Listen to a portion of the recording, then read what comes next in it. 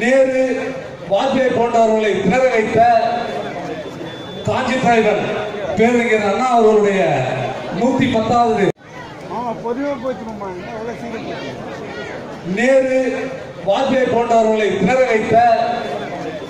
காஞ்சி தலைவர் பேரறிஞர் அண்ணா அவர்களுடைய